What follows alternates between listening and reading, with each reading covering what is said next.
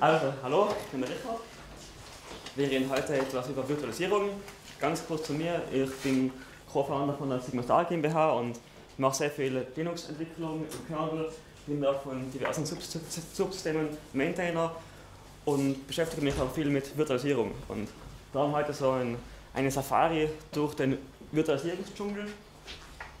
Ich werde jetzt nicht über irgendwelche tollen Produkte sprechen, sondern mehr über die Technologien, dass man so, so weiß, was für eine Box hat oder was macht denn die tolle, die tolle VMware, was macht eine VirtualBox, also mehr so die, die Low-Level Building Blocks und wenn es Fragen gibt, bitte einfach fragen.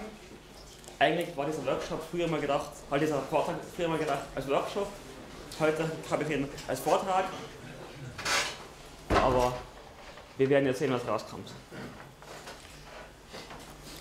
Zuerst mal eine kurze Frage in die Runde. Wer kann mir sagen, was Virtualisierung ist?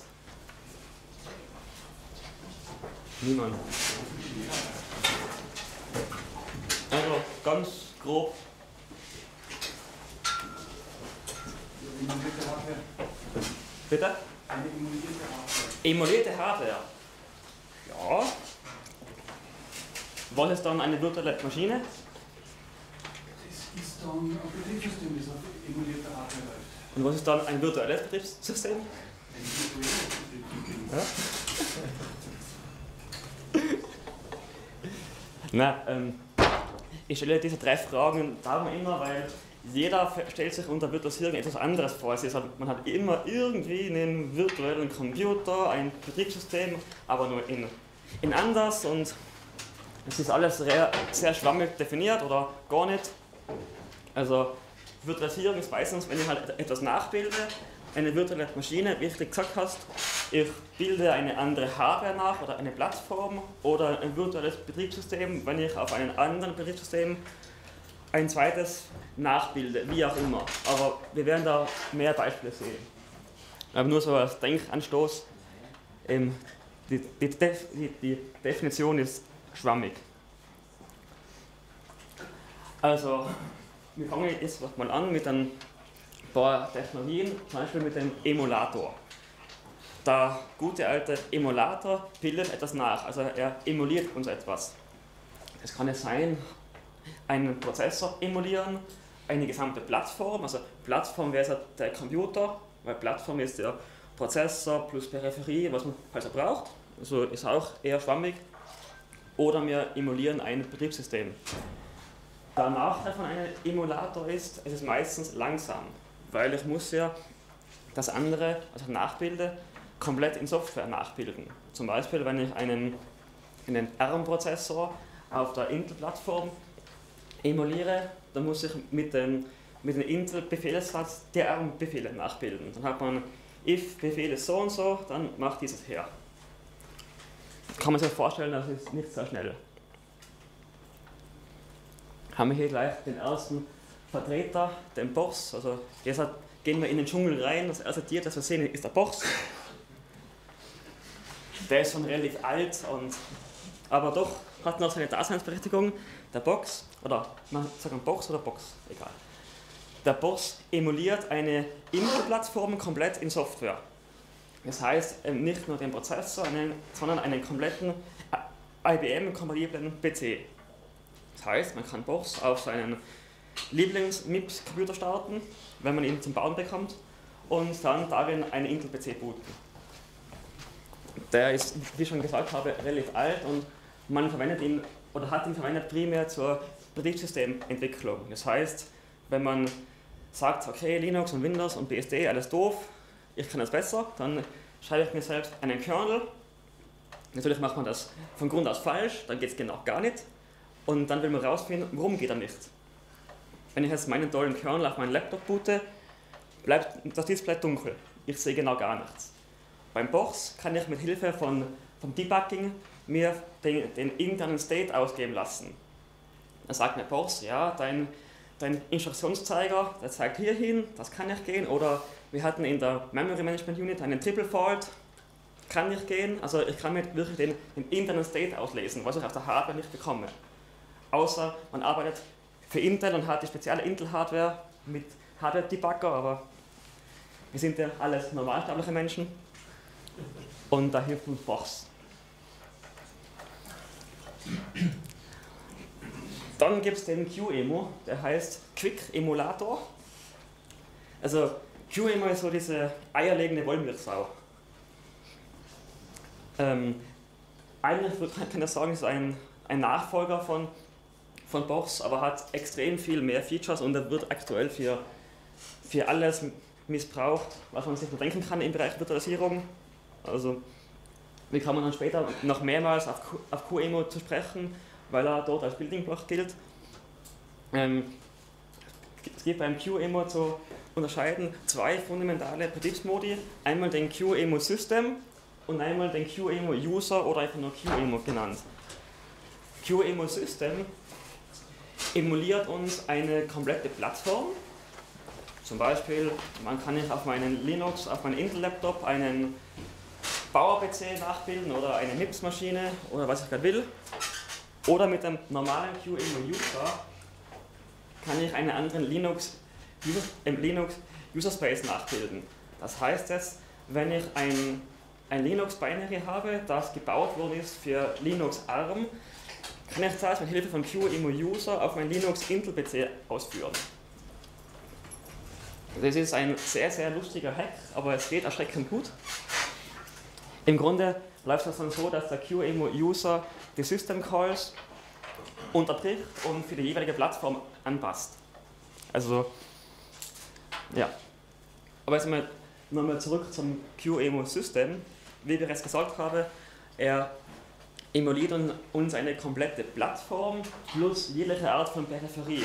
Wenn man reinschaut in die QEMU Mainpage, man kann nachbilden ATA-Festplatten, ähm, Touchscreens, Flash-Speicher, Parallelboards, eigentlich alles. Also es gibt kaum etwas, was man da nicht nachgebildet hat.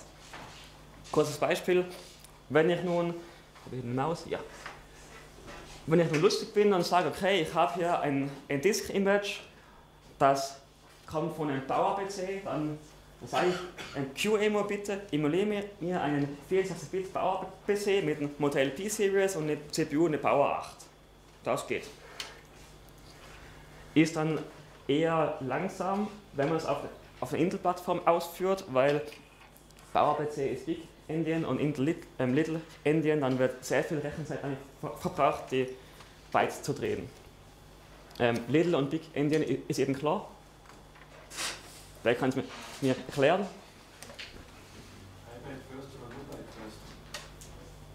Ja, also, also es kann auch an, wie man beim, beim Datenwort liest, von links oder von rechts.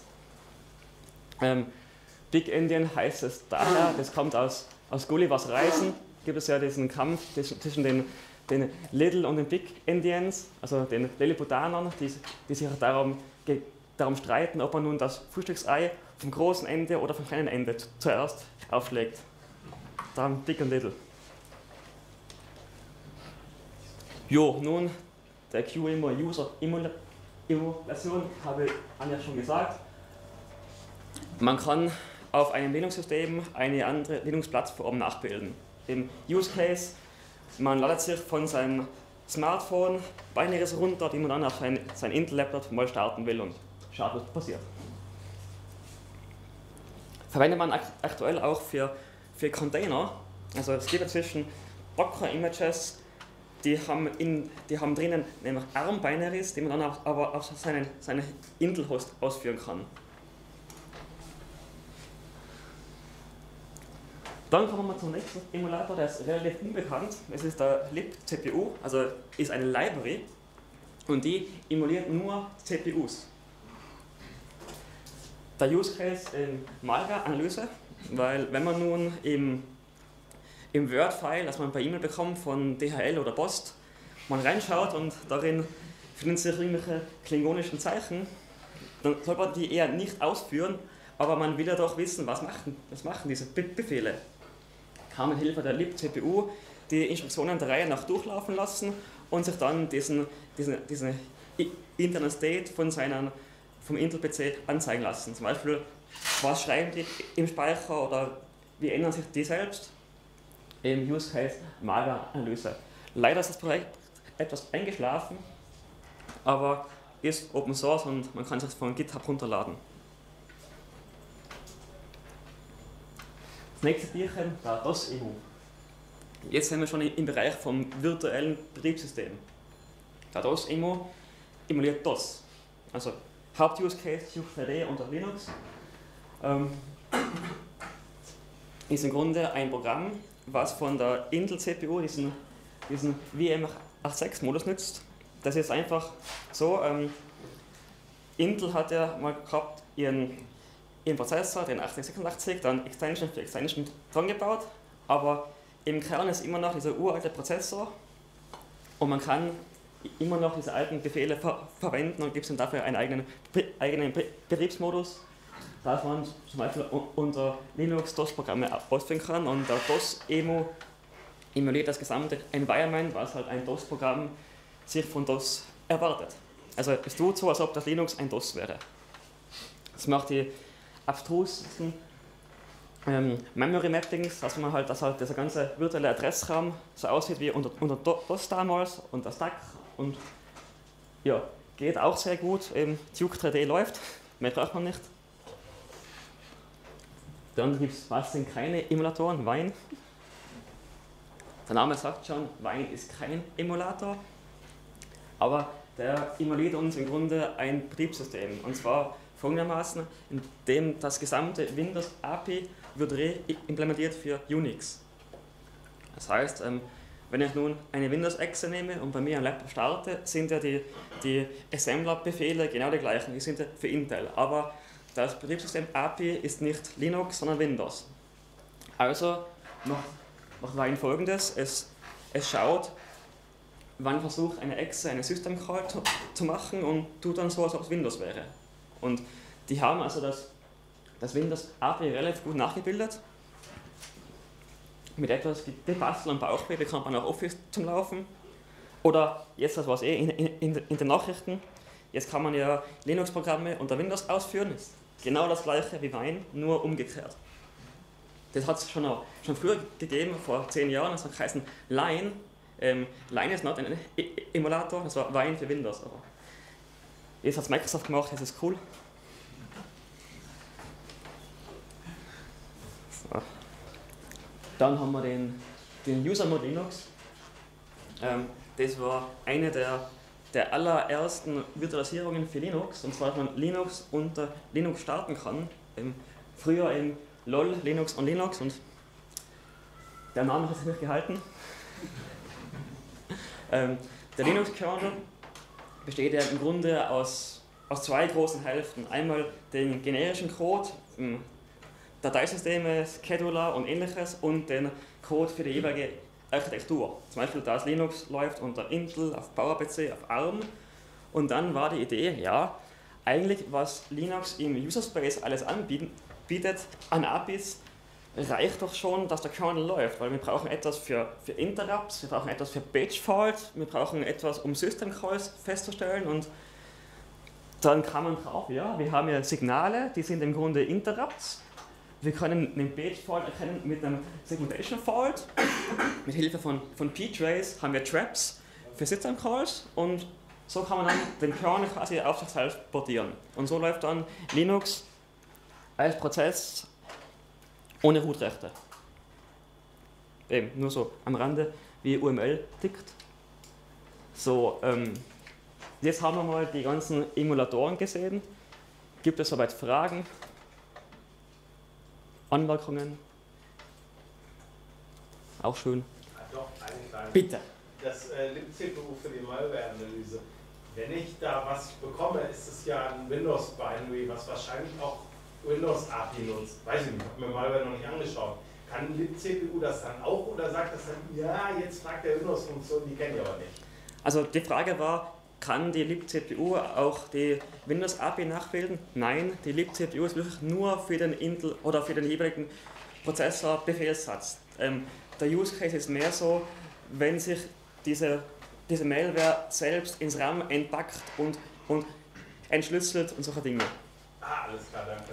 Weil, wenn man jetzt halt sieht, dass diese Malware ruft einen Windows API auf, dann kann man entweder diesen API-Call ignorieren oder man führt ihn in eine Sandbox aus und dann wird es schon sehr, sehr schwierig.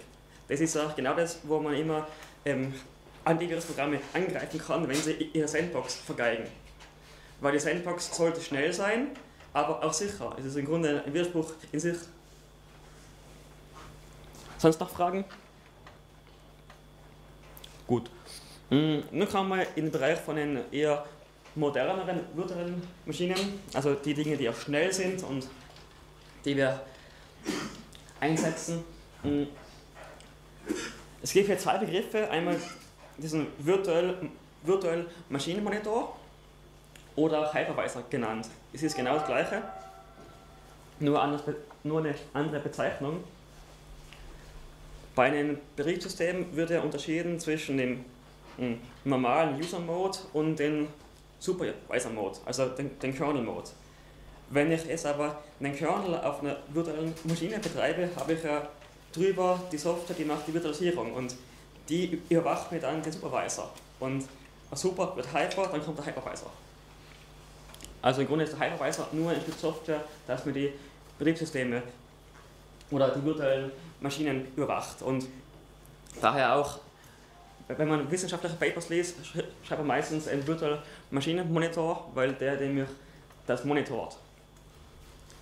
Dann der nächste wichtige Begriff ist die Paravirtualisierung. Bei einer vollen Emulation hat der, der Gast, also das Programm oder das Stück Software, das ich in der virtuellen Maschine ausführe, keine Ahnung, dass es virtuell läuft. Es schaut alles aus wie auf der echten Hardware. Also es wird alles komplett emuliert. Bei der Paravirtualisierung weiß der Gast, dass er virtualisiert wird. Zum Beispiel beim, bei einer virtuellen Maschine, die Zugriff haben will auf das Netzwerk, habe ich eine virtuelle Netzwerkkarte. Die Netzwerkkarte hat Memory gemappten Speicher und Interrupts. Also bei jedem Datenpaket gibt es einen Interrupt, dann, dann muss der Treiber dieses Datenpaket vom Speicher abholen, wieder ein neues zurücklegen, löst wieder einen Trap aus und so weiter. Das heißt aber, dass die Software, die mir das virtualisiert, muss alles nachbilden, Interrupts und dergleichen und das kostet sehr viel Zeit, weil wir haben viel Overhead. Bei der Paravirtualisierung weiß der Gast, er läuft virtuell und dafür dann einen ganz eigenen Treiber, wo er weiß, okay, ich habe zwar eine Netzwerkkarte, aber ich brauche keine Interrupts, ich, ich weiß, ich muss einfach nur die Daten dorthin schieben und der Hypervisor macht den Rest für mich.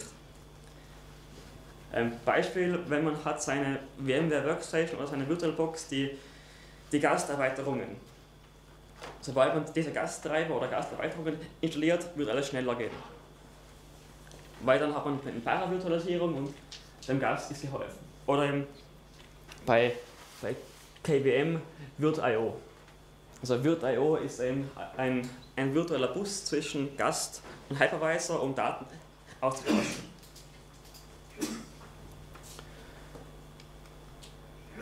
So, nun kommen wir zum ersten großen Tier, den Elefanten. Na, Xen. Äh, die Grundidee von, von Xen ist, der Hypervisor ist so klein wie nur möglich, also ein Mikrokernel. Der läuft dann wirklich direkt auf der Hardware. Und die einzelnen virtuellen Maschinen sind Prozesse. Und der Xen Hypervisor hat dann auch einen Scheduler, wo dann zwischen diesen einzelnen Prozessen umschalten kann. Und, und eben das alles kann wie, wie Prozesse und dann im Gas sind dann wieder Prozesse.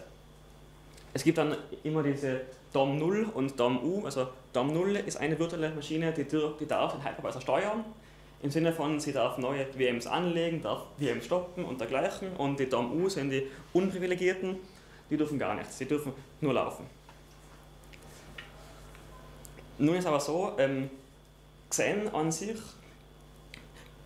sorgt nur fürs Nötigste, also eher nur für den Prozessor und minimalen Plattform, aber wenn man nun zum Beispiel, wie ich es vorher gesagt habe, eine virtuelle Netzwerkkarte haben will oder eine virtuelle Festplatte, braucht man Hilfe. Also man braucht Peripherie und das kommt dann mit dem QEMU. Der QEMU hat dann nämlich dann einen neuen Betriebsmodus erhalten, dass, dass er QEMU zwar die Peripherie nachbildet, aber dass er dann aber nicht ein, die einzelnen CPU-Befehle in Software nachbildet, sondern das nämlich an Xen weitergibt. Das heißt, sobald Xen feststellt, es kann etwas in Hardware nicht emulieren, stoßt es in Q Emo an, dann muss der weitermachen. Beispiel, wenn der, wenn der Gast auf den Parallelboard zugreift, dann sagt Xen, ja, ich habe nur einen echten Parallelboard, was soll ich damit? Dann stoßt er den Q-Emo an, dann weiß der Q-Emo, ja, wir haben noch konfiguriert, es gibt einen virtuellen Drucker, ich mach mal, und dann kann der Gast drucken. Das heißt aber auch, sobald man rausfliegt aus der Hardware-Virtualisierung und reingeht in QEMO, wird es langsam. Wenn man virtuelle Maschinen Performance testen will, dann schaut man immer, ähm, wie oft fällt man raus aus der Hardware-Virtualisierung. Also das heißt, wie im Enter und wie im Exit. Also dann, dann schaut man, wie viel Prozent der, der Zeit habe ich im, im, wie, im, wie im Enter-State, also laufe ich wirklich auf der Hardware und wie oft falle ich raus. Wenn man es hat, eine virtuelle Maschine mit Zen ohne Paravirtualisierung, dann sieht man, okay, der QEMO hat richtig viel zu tun. Weil der muss ständig Netzwerkkarten nachbilden, virtuelle Grafikkarten, virtuelle Festplatten und dergleichen. Dann ähnlich zu, zu Xen, es gibt den, den KVM, das ist die, die Kernel-Mode-Virtualisierung. Ich hätte es um, um Haaresbreite gesagt, der Nachfolger von Xen, aber dann bringen wir die Xen-Fanboys um. Na, ähm, ein Nachteil von Xen, wo man sich stundenlang darüber streiten kann, ist folgender. Der Xen Mikrokernel ist ja im Grunde ein Betriebssystem, der läuft auf der Hardware. Das heißt, man, man muss unter Umständen immer wieder dafür Treiber schreiben also, oder, oder Treiber rückportieren von Linux und dergleichen. Das heißt, man hat eine mehr oder minder doppelte Codebase. Und, und daher auch Xen hat dann selbst den Scheduler implementiert und dergleichen, hat man eben viele Dinge dupliziert und neue Probleme, die man, die man nämlich eigentlich schon gelöst hat. Und dann war die Idee, ja, wir könnten doch den, den Hypervisor direkt in den Linux-Kernel hineinstecken. Weil der Kernel hatte bereits alles. Der, der Linux-Kernel läuft auf jedem beliebigen Stück Hardware, es hat einen Scheduler, es hat, was man also halt, halt so, so, so braucht und wir können ja dann den Modus einführen, dass, er, dass virtuelle Maschinen lauf, laufen wie Prozesse. Und dann, wie gehabt, die Peripherie lassen wir wieder den, den guten alten Q-Emo machen. Ja, und es gibt jetzt auch neben dem QEMO noch ein anderes Tool, das heißt KVM-Tool. Wenn man mal googelt zum Thema Security von, von Xen und KVM, da findet man relativ viele Bugs und üble Security-Bugs, die sind meistens aber im QEMO begraben. Zum Beispiel, was war vor einem vor einem guten Jahr war wirklich ein schlimmer Bug und zwar die QEMA-Leute haben gedacht, ja, wir bilden nach eine komplette Festplatte, auch mit dem Smart-Protokoll, dass auch im Gast diese Smart-Tools gehen. Was für keinen Sinn macht, weil warum soll der, der Gast den virtuellen State der Festplatte abrufen, aber die virtuelle Festplatte von, von QEMA konnte halt Smart, das war Smart-Montat, aber natürlich war halt im Smart-Protokoll ein klitzekleiner, ein klitzekleiner Bug, dass dann der Gast mit Hilfe von kompromittierten Smart-Befehlen im Queue immer Code ausführen konnte. Nicht so lässig. Und dann war ihm die Idee, ja, wir können noch mal anfangen, diesen QEMO auszumisten. Und das war die Geburtsstunde vom KWM-Tool. Man schreibt ein, ein minimales Tool, was gerade gerade die Hardware emulieren kann oder die Peripherie emulieren kann, die wir brauchen für KWM und Linux als Gast. Und das KWM-Tool ist wirklich sehr klein, hat nur ein paar tausend Zeilen Code und ist zum, zum Lesen sehr viel feiner als der QEMU, weil einfach die Codebasis ist neuer und viel strukturierter und weniger bloated, sage ich mal. Großer Unterschied von KWM zu Xen. KWM unterstützt ausschließlich Hardware-Virtualisierung. Das heißt, es läuft nur auf Prozessoren wo der Prozessor Hardware virtualisieren kann. Zum Beispiel bei Intel VDD und VDX, bei AMD SMV oder SMX, vergessen. Ähm, weil Xen hat auch einen, auch einen Modus, dass er virtualisieren kann, wenn das der Prozessor gar nicht kann. Da, das machen sie so, wie es früher gemacht hat, die VMware Workstation wirklich mit einem, mit einem Machine Monitor, dass dann der, der Xen-Kernel lässt den Gast so weit machen, wie er nur will und wartet auf einen, auf einen Trap vom Host-Kernel. Zum Beispiel, wenn, wenn der Gast sämtliche Interrupts zudreht, dann bekommt das der Hypervisor mit und sagt, nö, Interrupt zutreten am Host, lieber nicht. Das muss ich jetzt besser e- emulieren. Und das geht auch noch sehr gut. Also sehr viele Instanzen auf Amazon laufen noch bei diesem Modus. Die, die haben zum Teil noch Pentium 4 Hosts, weil, weil die sagen, sie fahren eine Hardware, bis sie verreckt. Und dann haben die auch noch gesehen. Aber das sind jetzt Details. Ich habe, glaube ich, wenig Zeit. Ähm, hier immer noch der Punkt. KWM hat weniger Overhead als Xen, ja, kann man auch schon streiten. Die Implementierung ist viel einfacher und wenn man sich anschaut, welche Technologie moderne Hypervisor ver verwenden, zum Beispiel eben FreeBSD, Beehive oder Microsoft Hyper-V, die haben alle das, das KWM-Modell. KWM so, die, die Riesen-User von, von Xen sind aktuell noch, noch Amazon und Citrix. Und es ist halt sehr wissenschaftlich, wegen Microkernel und so. Und man sagt halt immer, der Linux-Kernel ist so groß, er hat so viele Bugs, darum sollte man halt den Hypervisor eher nicht reinstecken. Ich bin da eher pragmatisch und sage, KWM geht einfach, das nervt nicht. Dann einen Exoten, der aber sehr, sehr spannend ist, und zwar das Jailhouse. Ähm, das wurde von, von Siemens implementiert, ist leider nicht Mainline, aber Open Source, gibt es alles auf GitHub. Eben sehr, sehr ähnlich zu, zu KWM, da sind auch die virtuellen Maschinen einfach Prozesse, aber es herrscht eine strikte Partitionierung. Also kein Overcommit. Weiß jeder, was Overcommit heißt? Nein. Overcommit heißt, ähm, angenommen, mh, wir schauen uns jetzt mal meinen Laptop an. Mein Laptop hat drinnen ähm, einen Prozessor mit, mit vier Kernen. Das heißt, ich kann vier Programme parallel ausführen. Wenn ich aber bei mir in Linux den, den, den die Prozessliste ansehe, dann sehe ich, da laufen gerade mehrere hundert Prozesse.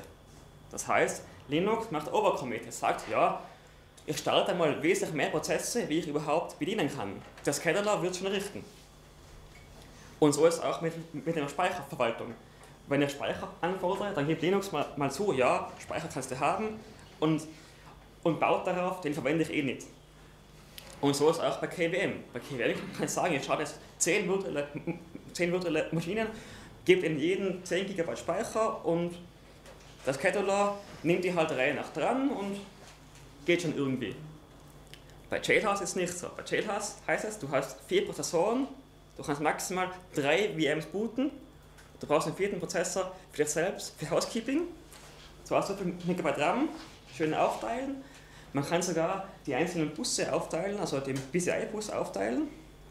Hat folgenden Use Case. Man will kaum Overhead haben und, und sehr geringe Latency.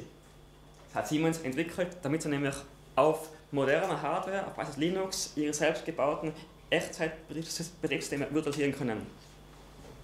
Also Realtime OS, das ist dann der Use Case, der Gast ist ein Realtime OS. Und man sagt, der hat fix einen Prozessor, fix ein Stück Hardware und den dürfen wir niemals unterbrechen, der muss einfach gehen. Da haben wir eben Partitionierung und eben kein Overcommit. Gibt es also Fragen? Wunderbar. Nun, mein Lieblingsthema, Docker. Ähm, eine Shared Kernel Virtualisierung. Folgendermaßen, ähm, bei einem normalen Computer fährt der Kernel hoch, startet den ersten Prozess und dieser erste Prozess, eben unter Unix wäre das init, da startet dann der Reihe nach die die ganze Prozesshierarchie, die man halt so braucht, den X-Server und dergleichen und, hat halt, halt seinen User Space auf dem Kernel. Und die Idee bei, bei Shared Kernel ist, okay, ich könnte doch mehrere, mehrere User Space Instanzen starten, die voneinander mehr oder weniger was mitbekommen. Das heißt, ich habe einen Kernel, von meiner Distribution mehrere Instanzen und ich kann im Grunde machen, was ich will, außer ich kann den Kernel nicht updaten, weil der Kernel ist die gemeinsame Ressource. Hat den Vorteil, es ist ein, man hat sehr, sehr wenig Overhead, im Grunde kaum Overhead, aber der Grad der Isolation ist mh, hm, geringer. Also zum Beispiel, wenn man eine Winzigkeit falsch macht beim Konfigurieren von seinen Docker oder wie man es halt nennt, dann kann es sein, dass ähm, ein Gast startet dann extrem viele Prozesse mit extrem viel Speicherverbrauch, die dann den, den CPU-Scheduler im gemeinsamen Kernel so sehr belasten, dass die, dass die restlichen Container verhungern. Oder bei jedem winzigen Bug im Kernel kann ich jede, jeden einzelnen Container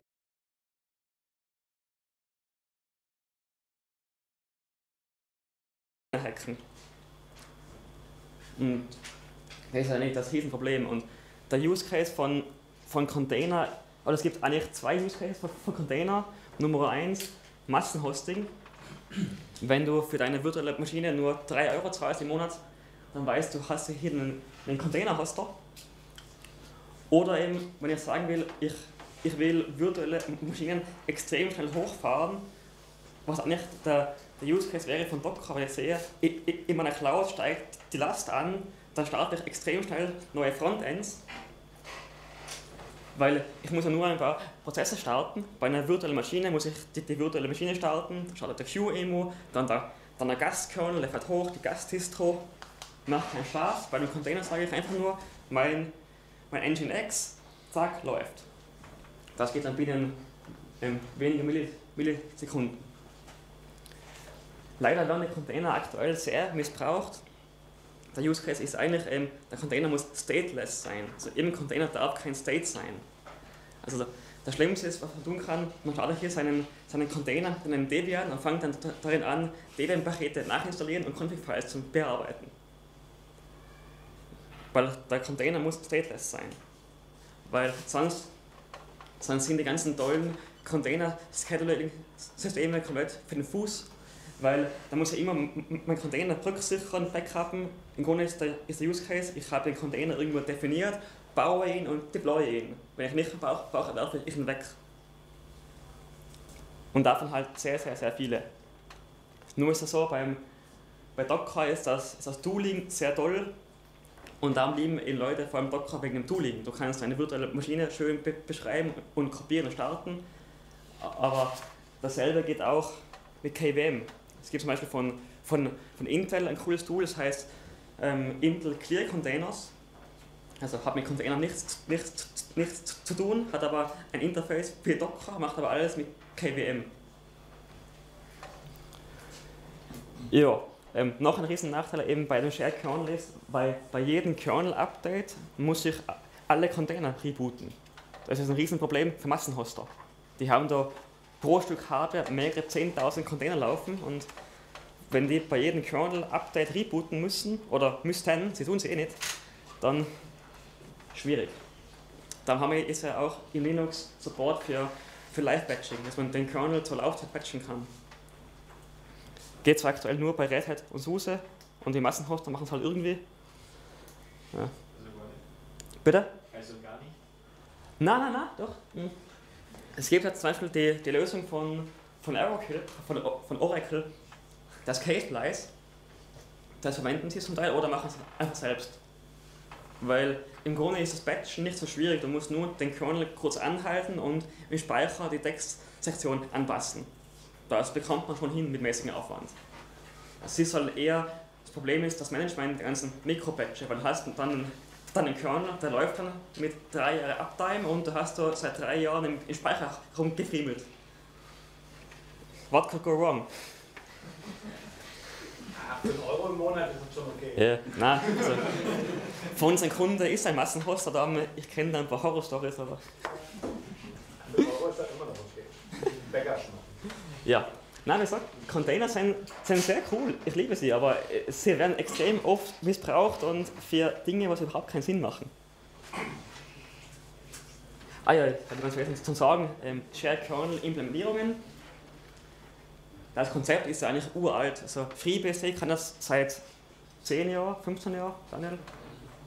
10 Jahre, eben FreeBSD Jails oder auch Solaris, die Solaris-Zonen oder eben auch als Batch für Linux, der Linux V-Server Ne? Kommt die übrigens von einem, zum Großteil von jemandem aus Österreich. Und dann eben jetzt die Linux Linux Container, weil man sich dann überlegt hat, ja, das mit Linux V-Server ist alles schön und gut, aber ein bisschen ein Gehacke, wir hätten das gerne mal Mainline. Und dann hat man eben vor, vor drei, vier Jahren begonnen, ein neues Konzept zu entwickeln für Shared Kernel Virtualisierung im Kernel, eben die Container. Und darauf baut es auch im, auf im Docker oder unter Ubuntu LXD. Geht auch mit libvirt oder wie sie alle heißen oder Sandstorm.io. Ja. Gibt es zur Shared Kernel noch Fragen? Anregungen? Was jetzt noch so fehlt, ist die Lösung ähm, Virtuoso. Die wird auch sehr viel, sehr viel von, von Hostern verwendet. Aber ich habe hier bewusst auf den Folien nur, nur Software aufgeführt, die frei ist. Naja, gibt es noch Fragen? Das war fast zu schnell. Alles klar. Bitte. Diese Updates, äh, Kernel-Updates oder überhaupt System-Updates, wie, macht man das echt? Also die Frage war, wie macht man jetzt diese Live-Kernel-Updates in echt? Ähm, äh, seit ähm, einem Jahr ist im, im Kernel ein neues Subsystem vorhanden für Live-Batching. Da kann man dann generell sagen, hey lieber Kernel, ich habe hier ein Binary Delta das bitte tust du dir anwenden und hat der Kernel auch intern eine Liste, wie viele Batches man hat. Und das große Problem ist eigentlich, wie erstelle ich dieses Binary Delta? Wenn der Kernel Batch nur ist, eine, eine Sache von drei Zeilen umdrehen, dann macht man einfach einen zweiten Kernel-Bild, macht dann ein Binär-Delta und fertig. Das Riesenproblem ist, wenn, das, wenn der Kernel-Batch Datenstrukturen ändert. Da muss man nämlich im laufenden Kernel die bereits existierenden Datenstrukturen anpassen. Dann wird es richtig schwierig. Und da ist gerade Red Hat dabei und SUSE am Tooling. Die haben beide unterschiedliche Tools, aber nehmen her im Kernel selber Basis.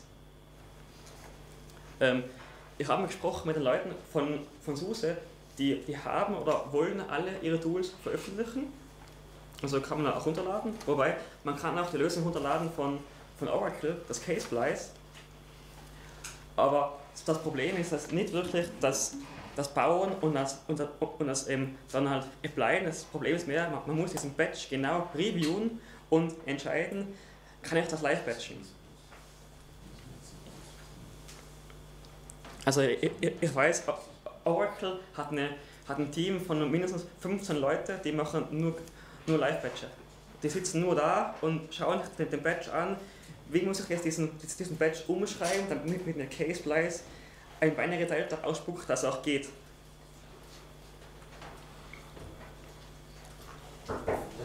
Ja, bitte. KVM, wenn man mehrere KVM-Maschinen hat, zum Beispiel 100, ne? wie äh, machst du das, dass du da äh, die Updates überall reinsetzt? Tut man da jede einzeln updaten oder? Also die, die, die Frage war, wenn ich viele KVM-Essenzen habe, wie halte ich die aktuell? Ähm, ist es im Grunde genauso, als ob du 100 echte Kisten rumstehen hättest. Dann kannst du anfangen mit Puppet, mit Cluster SSH, was dir am liebsten ist. Ich weiß eben von, von vielen mh, hm, größeren Firmen, die machen ihre, ihre Wegwerf Maschinen, die sagen, die haben einen Bauplan von einer Maschine, bauen die und deployen die. Und wenn sie ein Update fahren müssen, runterlöschen, neue Maschine, deployen. Weil die sagen auch, die Maschine muss stateless sein. Da habe ich nur vorne mein, mein Front Apache mit PHP, aber die MySQL-Datenbank ist weiter hinten irgendwo. Es kommt auf dein, auf dein, auf dein ähm, Model an, aber wenn du 100 VM hast, dann hast du schon richtig zu, richtig zu tun. Da dann empfiehlt sich auf jeden Fall dieselbe Distro fahren, also kein Distro-Dschungel betreiben, vielleicht auch, auch eine Distro machen, deren Updates in der Regel gut gehen, also keine Bastel-Distro. Ja. Bitte? Ähm, also das Feature von einer äh, Vollvirtualisierung, einer Power-Virtualisierung von Zen KVM ist ja Live-Migration von der VM. Ist dann relevant, wenn halt ein State irgendwie behalten muss. Das bei Containern geht das aber nicht, weil man eigentlich davon ausgeht, dass die kein State haben sollte. Dass man sie wegschmeißt eher. Das ja. einen großen Container kostet, den ihr von anderen groß verschieben muss. Also die, die Frage war eben Live-Migration bei Containern.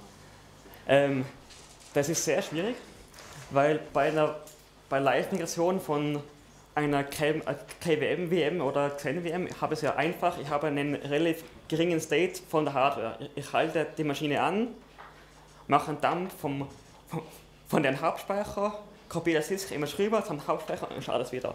Bei Shared Kernel habe ich ja meinen gesamten Prozessbaum, das heißt, ich müsste alle Prozesse anhalten, jeden einzelnen Prozess snapshotten, rüber kopieren und starten. Das geht, das machen auch die Massenhoster weil die wirklich schauen, dass sie nämlich auf ihrer echten Hardware die Last verteilen. Da gibt es eine Lösung, die, die heißt ähm, Checkpoint Restore in UseSpace, also CRIU. Das kommt von Parallels, das haben sie entwickelt für Virtuoso und das geht erschreckend gut.